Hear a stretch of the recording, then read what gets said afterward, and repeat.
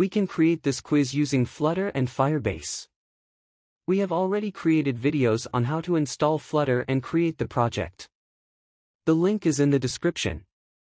We first create a Firebase project and a database, as we have already demonstrated in a previous video, the link is provided in the description. Next, create a collection with the name quizzes. This is the structure of the database. Collection name, quizzes. Add a document with the name quiz ID 1.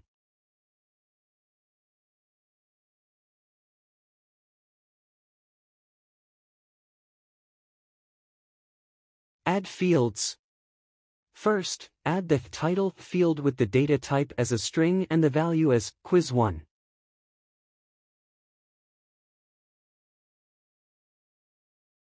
Next, add the questions field as an array to store multiple questions.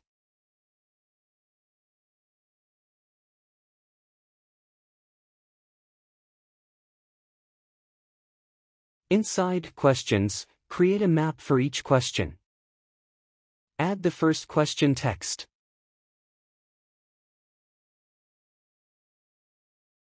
Include options as an array for the multiple options of the question. We will add options later. Create a field correct option index with the data type as a number.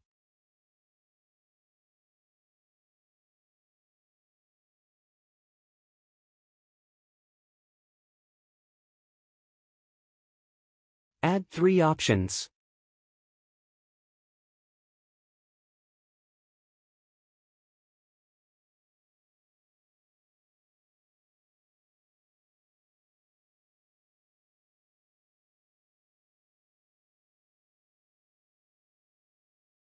Include the correct answer index, which, in this case, is index 1. Repeat this process for each question, creating a map for each. Add a total of 5 questions and options for this project, starting from index 0.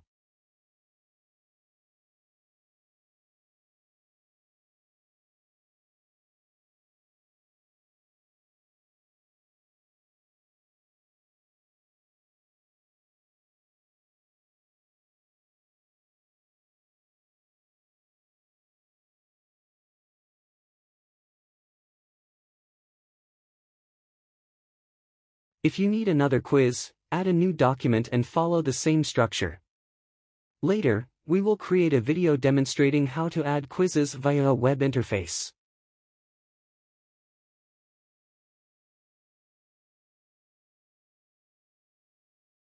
Next, open the pubspec.yaml file and add three dependencies, Firebase Core, Cloud Firestore, and Provider.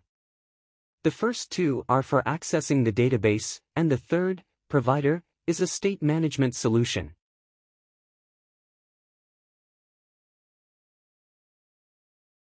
Create a new directory named model. Inside that directory, create a model file and name it quiz underscore. Create a question class within this file. Declare three variables, question text, options, and correct option index. Question text is a string, options is a string array, and correct option index is an integer. Now, create a constructor. Next, create a quiz class. It should contain two variables, a string variable called title and a list of questions. Now, create a constructor. Create another directory named services. Add a Dart file inside that directory and name it quiz underscore service. Import cloud underscore firestore. This package is used to retrieve questions from Firebase. Then import the quiz underscore model.dart file. Create a class named quizService. Then, create a static method named getQuizData that returns a future quiz. It takes a string quiz ID as a parameter. Use Firebase Firestore to fetch the document snapshot of a quiz with the specified quiz ID. Create a quiz object using the data extracted from the quiz snapshot. Then iterate through the list of questions in the quiz snapshot, creating a question object for each question. Finally, the method returns the created quiz object. Next, create a providers directory. Inside that directory, create a new Dart file and name it quiz underscore service.dart. Import the material.dart and quiz underscore model.dart files into the quiz underscore service.dart file. Then, create a class quiz provider with change notifier within quiz underscore service.dart. Change notifier is a fundamental part of Flutter's state management mechanism, providing a way to propagate state changes through the widget tree. Declare four variables. First, declare a quiz variable with the data type as the quiz class we created earlier. Then, declare three integer variables, current index, correct answer, and selected option. Each of them is used to store appropriate data. Next, create four getters. These getters allow other parts of the application to access the current quiz, the index of the current question, the count of correct answers, and the selected option. Then create another getter for checking the quiz is complete. Then declares a method named setQuiz that takes a single parameter of type quiz named quiz underscore quiz equals quiz. This line assigns the value of the quiz parameter to a private variable underscore quiz. It calls the notify listeners method. In the context of Flutter and state management, this typically signals to any listening widgets that a change has occurred and they may need to rebuild. Then declare a method named setSelectedOption that takes a single parameter value of type int, nullable integer. Underscore selected option equals value. This line assigns the value of the value parameter to a private variable underscore selected option. Then call the notify listeners method. Then create a method named answer question. There is an outer if condition that checks if the selected option is not null. Inside this, there is an inner if statement that checks if selected option is equal to the correct option index of the current question in the quiz. If this condition is true, increment the correct answers variable, which presumably tracks the number of correct answers in the quiz. Then, increment the current index variable, presumably moving to the next question in the quiz. Next, check if the current index is not equal to the total number of questions in the quiz. If this condition is true, set the underscore selected option variable to null. This action is likely performed when moving to the next question, possibly resetting the selected option for the new question. Next, create a directory named screens. Inside the screens directory, create a Dart file named quiz underscore screen. Import these packages in the quiz screen file. Import package flutter slash material dot dart. Import package, provider slash provider dot dart. Import quiz underscore provider dot dart. Import quiz underscore service dot dart. Import quiz underscore model dot dart. Create a stateless widget named quiz screen. Create another stateless widget quiz widget inside the same file. Return the quiz widget in the build function of the quiz screen widget.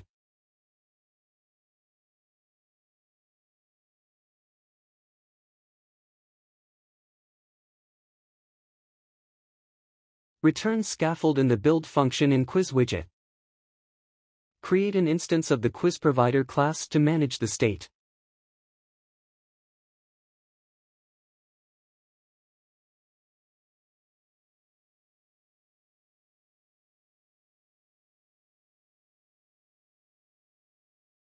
Future, quiz service.get quiz data, quiz ID. The method takes a parameter quiz ID, which is likely used to identify or fetch a specific quiz.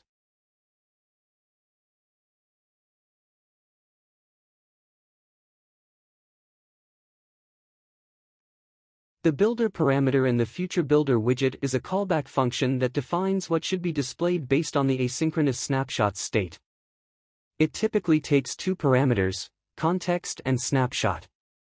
First, check if the asynchronous operation is still in progress, connection state. Waiting. If true, return a circular progress indicator, indicating that data is still being fetched. Check if it has an error or is null. Return an error text. The else block handles the successful case when the quiz data has been successfully retrieved.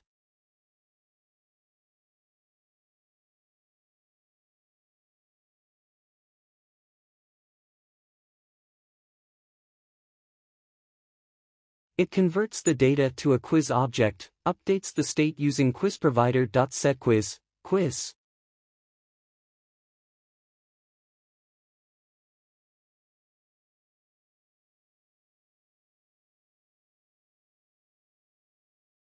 and returns a quiz widget to display the UI based on the fetched quiz data. Create another quiz provider instance in quiz widget. Create app bar, body and scaffold. Add two text widgets inside column. Add a column that displays the radio buttons for options. Add an elevated button to move to the next question.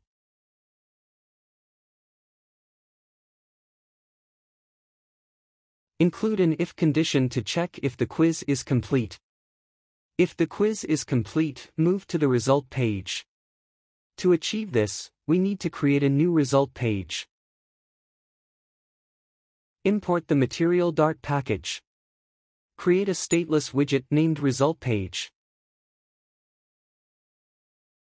We need to obtain some values from the quiz page. So we declare two variables. Create a constructor. Return a scaffold and display the results using the available variable values. Open quiz screen and import result page.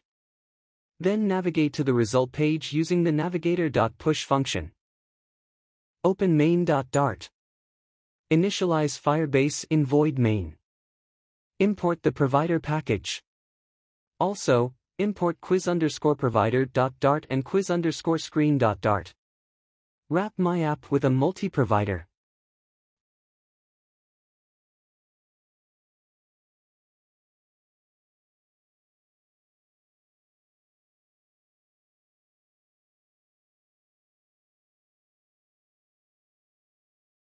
Add a change notifier provider in the providers list.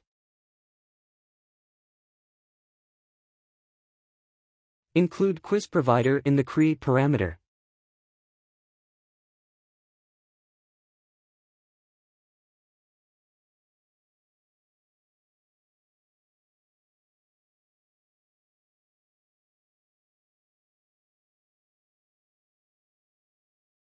Call the quiz screen widget in the My App widget.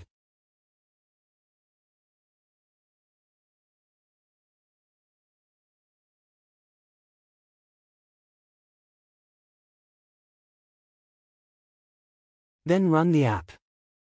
The quiz is running. Select the option.